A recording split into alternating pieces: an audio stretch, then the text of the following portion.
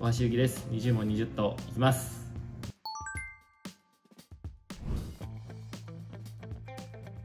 7歳小学校1年生です。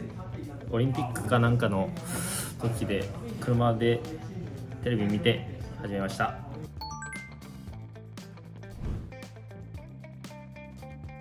サッカーをひたすら楽しんでやってくれれば嬉しい。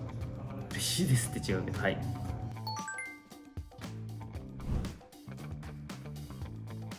えー千葉県の松戸市です、えー地元のおすすめなとこは東京に近いとこです。東京へのアクセスはすごい抜群なのであんま行ったことないんですけど。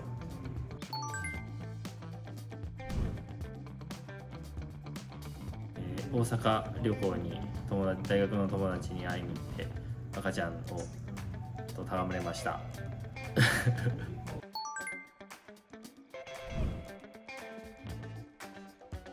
ボーリングしてました。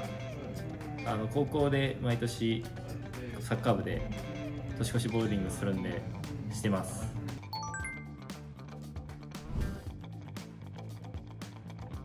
ミノルっていう去年も行ったんですけど牛タン屋さんが美味しいです。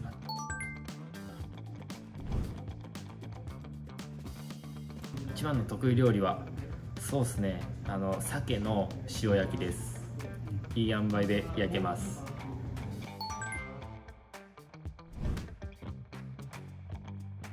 まあ何でもあらゆるものを食べます。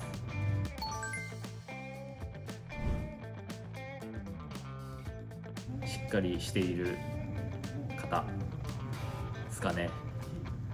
気配りのできる方。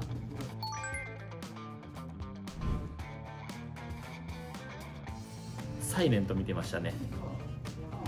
いやーなんか青春って感じでしたね。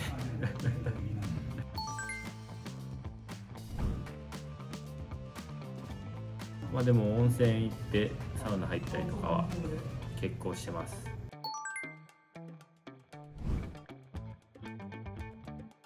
球技系のスポーツが全部好きで、はい、やるのは好きなんですけど最近だと箱根駅伝はめっちゃ感動しますいつも。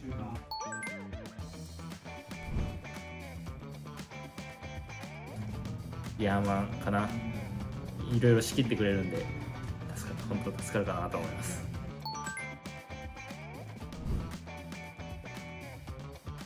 ま海外も行きたいんですけどでも日本のそのわざわざ行かないような場所回ってみたいですね。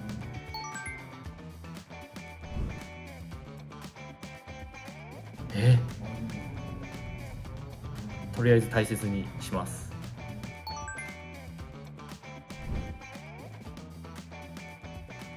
ないです。なんか多分試合の日いっぱい寝てます。くらいかな。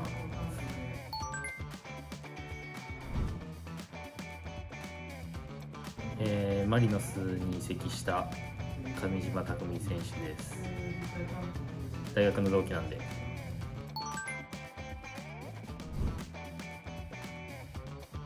えゴールに向かうプレーだったり、えーゴールを決めるプレーです。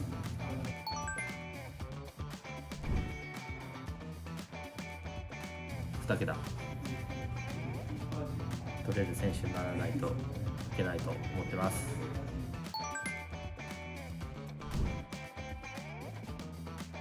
湘南5年目になりますが湘南のために走ってゴールに向かってして貢献できるように頑張ります。よろしくお願いします。